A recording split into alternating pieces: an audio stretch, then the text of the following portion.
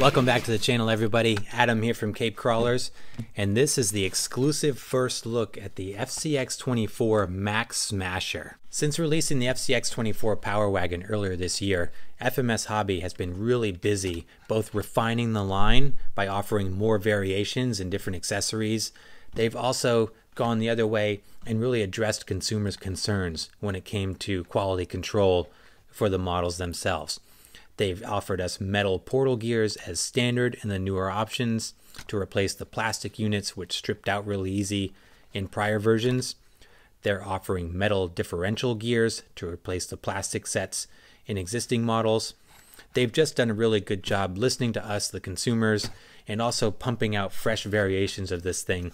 At the time of this recording, we're approaching Halloween, and we've got a bunch of Halloween variations of the Power Wagon that have custom paint and decals, but also include a scale bed, which is really cool. So they're they're adding accessories, they're refining the line, they're addressing your concerns.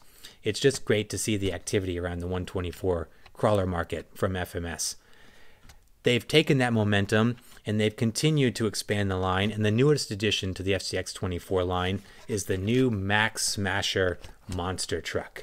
And we are very fortunate to have our hands on a pre release model so that I can give you this exclusive first look at this thing. This is a very cool rig. It's got these awesome big soft squishy monster truck tires and many of the same features that we've grown to love on the FCX24 Power Wagon.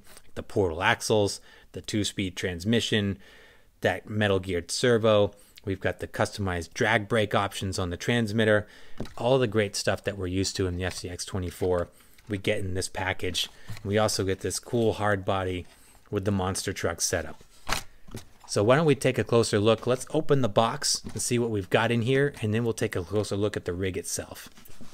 Here it is, the Max Smasher. Let's open it up. So I've already had this thing out, been running it for a couple weeks now, but let's take a look in the box and see what you get when you open this thing up. Here's the box here, very similar to the FCX 24 has your specs. That's kind of the overview. Has the blue one on the cover. I wish I'd gotten the blue one. I'm a huge fan of the Bigfoot monster truck. The Bigfoot monster truck was like a such a staple in my childhood. I've got the blue one coming, but for this video I only had the white one. In any case, let's take a look. Let's open this thing up. Much like the FCX24 Power Wagon, you get this styrofoam casing with the FMS logo stamped on the top. Inside, you get the decal diagram. Now the decals are something that I want to get into a little later, but you do have to apply all of your own stickers to this thing. Now on the white one, I believe the white has much more stickers than the blue one does, but it gives you a good outline of this I didn't have any trouble putting them on. They're just a little different than your traditional sticker because it comes in a, sheet like this. You have to manually cut them out and then soak them in water and then place them on the rig. And then that's how you apply the stickers. So it's a little tedious, but manageable for sure. And the diagram's easy to read and the stickers worked easy enough. You get the manual just like the FCX24. Here's the remnants of the stickers. So you can see it came on this cardboard sheet. I didn't use all of them and there are some extras. So that's your sticker sheet. The, when you open this up, it will come as one kind of uh, postcard sized piece of cardboard that you cut out with your stickers. Just like the FCX24, you get your accessory kit here this is a ready to run model, so it comes with everything that you need to get it going. It does not have batteries for the transmitter, but it does have everything else to get you up and running. Got your battery charger. We have our kind of multi-tool here. In any case, you got your tools. You've got spare differential gears. So again, this comes with the plastic gears by the looks of it. I didn't open it up to see if it has metal differential gears. I know that it has metal portal gears, but it looks like it has plastic differential gears. So you do get a set, an extra set of differential gears, which is good. again, like the FCX24, comes with the O-ring kit to convert the stock coilover shocks to an oil-filled shock. Now I did this modification to my Power Wagon and it worked really good and it was really easy to do. So that's just a really neat feature that they offer. And it's great that the stock shocks are capable of being oil filled like that because I felt like they worked really well with the oil. So that's what you get in the box when you open it up. Why don't we take a closer look at the rig itself now? Here is the rig itself. So very cool looking rig. It's got this nice square body. It's got the hard body just like the FCX24. Comes pre-painted in the white or the blue. Like I said, we've got the white one for demonstration purposes here. The blue one looks like it has a little bit of a metal flake on it. I'm excited to see that one and see it in person. So we'll see. One of the first things I noticed was that these big monster truck tires are nice and soft and squishy. They are noticeably softer than the Endura monster truck tires that we have on our Gladiator. They've got a good amount of squish to them. They're really nice and pliable. They feel really good. So they are definitely a nice tire for the monster truck here. I also noticed that the body is much more scale. So one of the things that I noticed and a lot of people have commented on with the Power Wagon is that it looked more like a 18th scale, whereas this is much more like a true 24th scale body. And I really like that. I think it fits the chassis really well. It's got a nice balanced look and a much more kind of appropriate scale look. If we were to compare this to the Gladiator,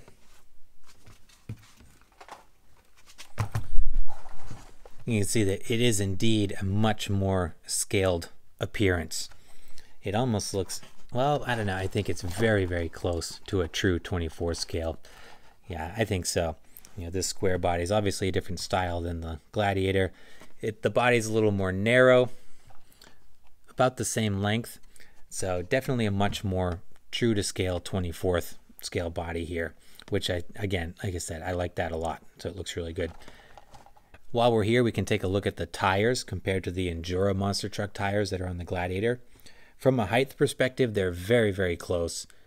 The Enduras might be a little bit taller. They are a little bit taller, I think, noticeably wider. But like I said, they're they're much stiffer, and the lugs themselves are not as deep as they are in the Max Smasher. So I think from a tire perspective, I think that the monster truck tires on the Max Smasher are superior because I like the softness of them. I like the deep treads.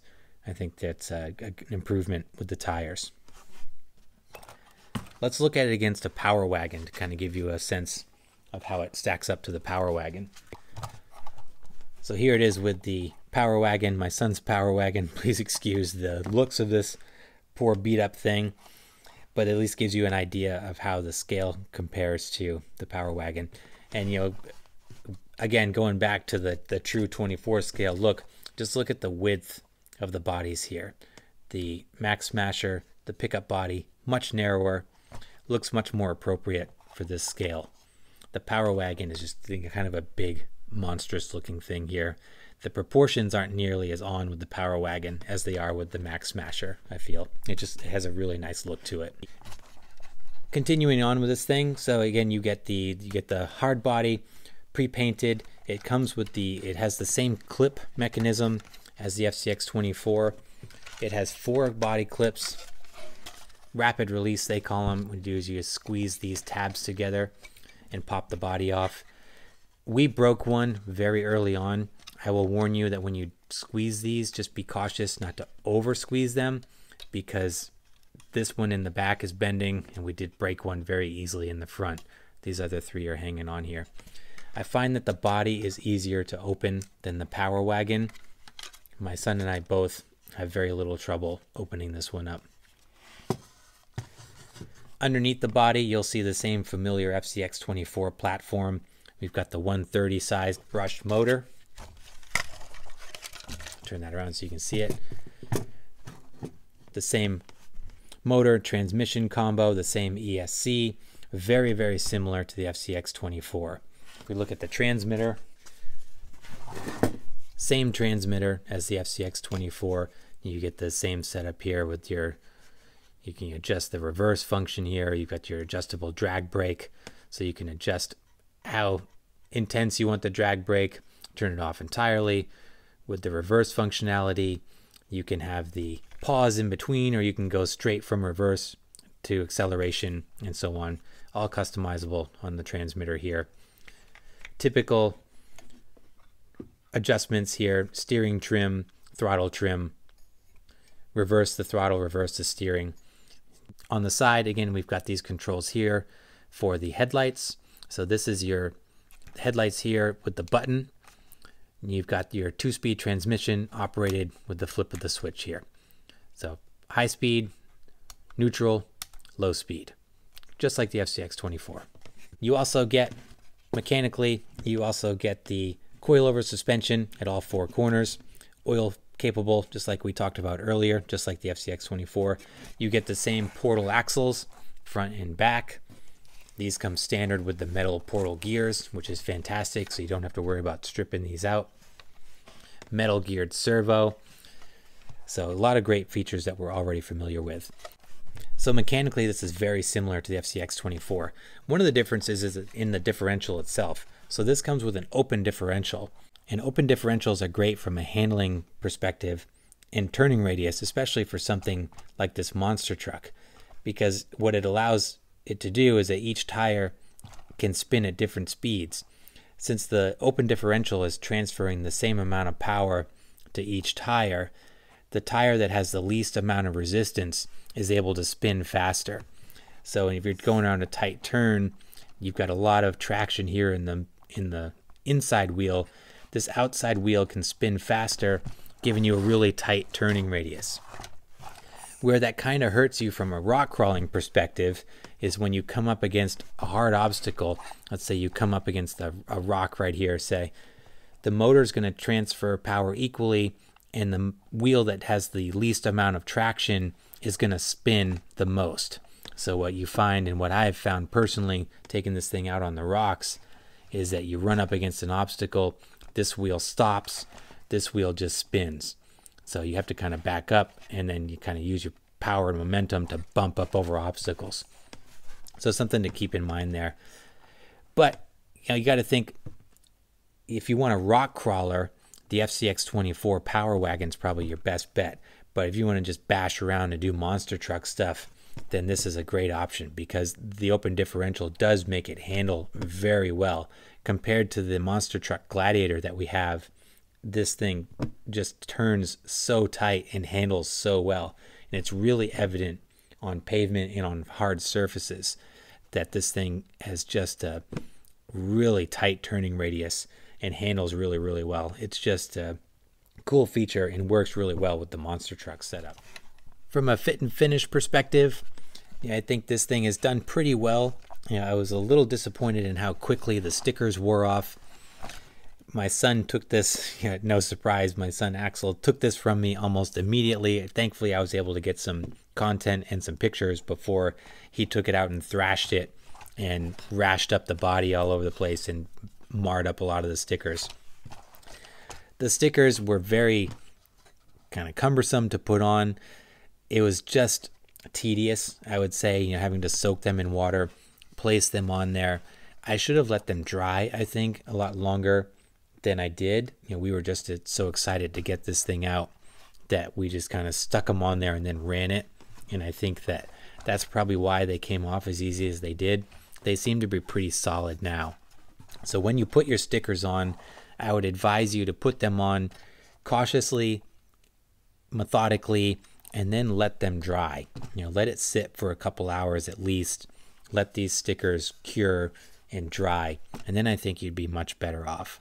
We were just too impatient and just ran this thing and ended up scraping some of the stickers off. I've got a new sticker sheet coming to get this thing back to its original glory.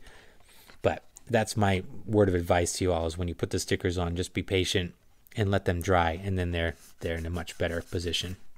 The body itself, it has taken a little bit of a beating. I was a little bummed out at how quickly it looked really worn. Granted, my son is not easy on things, but you know you can see in just a, a couple of the corners, you know, it got beat up. It got really rashed up, kind of in here in the front, on the corners of the cab, and with the white it's really difficult to not see those things because the dirt gets in those scratches and it's just really noticeable. But hey, we bought it to use it. It's not a shelf queen. It's going to get beat up. So mechanically and structurally, it's held up really well. Like I said, we did break one of the body clips very early on, and that's probably just from me, just with my fat fingers, just going that, hulking it a little bit and squeezing too hard and breaking one of the tabs off. So when I learned to be a little more cautious with the tabs, then we haven't had any issues. They've worked good since. My son has thrashed this thing. He's taken it off of jumps. He's taking it bouncing off of rocks at the beach. He's taking it off our off our deck. He's run at full speed straight off the steps. So it's tough, I got to say. It uh, has held up to some abuse thus far and has taken everything that he's given it. So let's talk driving impressions. I'm going to give you my feedback based on my experience with this in a few different scenarios. First, let's talk about what it does best. It is a riot in high speed monster truck stuff. It does the best at hitting jumps, tackling obstacles, modest obstacles fast, and just hammering over stuff. Wheelies, nose wheelies, all that stuff, it does extremely well. That two speed transmission and the power plant that this thing has, it is so much fun. It's so fast in second gear, and it's just a riot. You know, mess with your reverse settings and your drag brake settings and you can set this thing up to stand right up on its nose super easy and then rip up in a wheelie with no problems. It's a ton of fun doing just monster truck stuff. You know my son we set up ramps and he ramps this thing off of some big jumps and with the coilover suspension and the big tires it handles that stuff like a champ. No problem it's really balanced also. So when you do jump it, it's not super nose heavy or rear end heavy. It's just, it's really fun. It does a great job with the monster truck freestyle stuff. The turning radius is excellent. It handles really good. It's got a super tight turning radius. It's wild how well this thing handles and how easily it turns with the monster truck tires. I was really shocked, especially on pavement and on concrete like in the, our basement here or in our driveway, the thing just handles like a go kart, tiny little go kart. It just like zips in and out wherever you want it. Very great handling. Now, where it does struggle a little bit is on the actual rock crawling. So if you're buying this to be a rock crawler, I would consider steering you towards something else like the Power Wagon because mechanically the way this thing is set up with the open differential it can cause some frustration on kind of hardcore rock crawling because you get into that situation where you know it's just not grabbing like you're used to if you are a crawler guy like me. So the slow speed crawler stuff it seems to struggle with. And I think that's just it's not what it's made for. You know, if you want to go hardcore slow speed crawling, you've got the power wagon works fantastic in that situation. This is more of a high speed kind of uh, you know it, it's a monster truck it does monster truck stuff really well. But like on our rock course here in the backyard, it was a little frustrating because it just couldn't crawl that well because of the differential setup and how it works mechanically. But take it off the rocks in a more subtle setting and it's a blast. Super, super fun. Final thoughts on the FCX24 Max Smasher. What do I think? I really like it. I think it's a cool little rig. I like the looks. I'm a die-hard monster truck fan. The square body look, and particularly in the blue with the Bigfoot appearance to it, really just tugs at my heartstrings because, man, Bigfoot, the monster truck, was such an integral part of my childhood. This thing just brings back so many wonderful memories of my monster truck days. And now getting to kind of relive that with my little boy is so much fun. So I've got a soft spot for this thing already just because of the appearance and the fun factor. So I I definitely like it for a lot of those reasons. But I also have to say you've got to give FMS credit for continuing to put out great variations of this already successful FCX24 platform. Not only are they continuing to kind of work the bugs out as they go along, they're also providing new and exciting models that appeal to a different audience. You know, this is not going to be like your hardcore rock crawler, not as capable as the FCX 24, at least not out of the box. But you get the great features like, you know, you get the 130 motor, the two speed transmission, you still get the portal axles and the coilover suspension. You get a lot of the great capabilities and mechanical features that you get from the FCX 24. FMS has tweaked this just enough to appeal to a broader range of customers, I think. So it's just great to see what they're doing. They are certainly still on the gas and keeping the momentum going. It's great to see them opening up the line and offering different model variations of this FCX 24 platform. This I've said it in other videos. This has just been a great year for the 24 scale in general. Just getting options like this out there, variations of successful models, it just opens up the customer base and the more people we can onboard into the hobby the better and i think this is a great addition to the FCX 24 lineup and the 24 scale lineup in general. I think it will appeal to more customers, different customers, and get more folks into the hobby, which is always great. So to sum it up and bring this thing home, the Max Smasher. This is a great little rig, super fun, just like the FCX 24 Power Wagon, just a blast to drive. The Monster Truck Edition just adds another layer of fun to it. I would like to see a way to lock the differential, and I'm sure there'll be a way to do it with aftermarket support or tweaking. That way that I can get my crawler fix and take advantage of the monster truck platform. But that's just me. If you're looking for just a fun, capable monster truck RC right out of the box, this thing has got you covered. It's got fun in spades. This will be released on October 24th. Price point is going to be right around $159, I believe. Still competitive within that 124 crawler space, which is a, a lot of bang for the buck for what you get for this thing. You know, the, the hard body, the more scaled hard body, portal axles, the two speed transmission, this great power plant. Just a lot of bang for the buck here and a really fun rig. That's going to wrap it up for this video. This was just a quick one just to get this information out to you, give you a first look at this new rig from FMS Hobby. Very cool stuff. Let me know your thoughts down below. What do you think of the Max Smasher? Did it meet your expectations? Are you going to pick one up, blue or white? Let's get the conversation started. Want to hear from you guys as always. Thanks so much for watching. Please like and subscribe if you haven't done so. Stay tuned for more content around this thing. You know we're going to modify and customize it. It's going to be fun. I'm hoping to get the blue one soon, and when I do, I'll have some content for that as well, so we can check out the white and the blue together. We'll also do some comparisons against the SCX24 monster truck. It's going to be a good time. We're going to have a lot of fun with this thing, and I'm going to bring you a bunch of content featuring it. So keep an eye out for all that good stuff. It's going to be a lot of fun, and I'm excited to share it with you.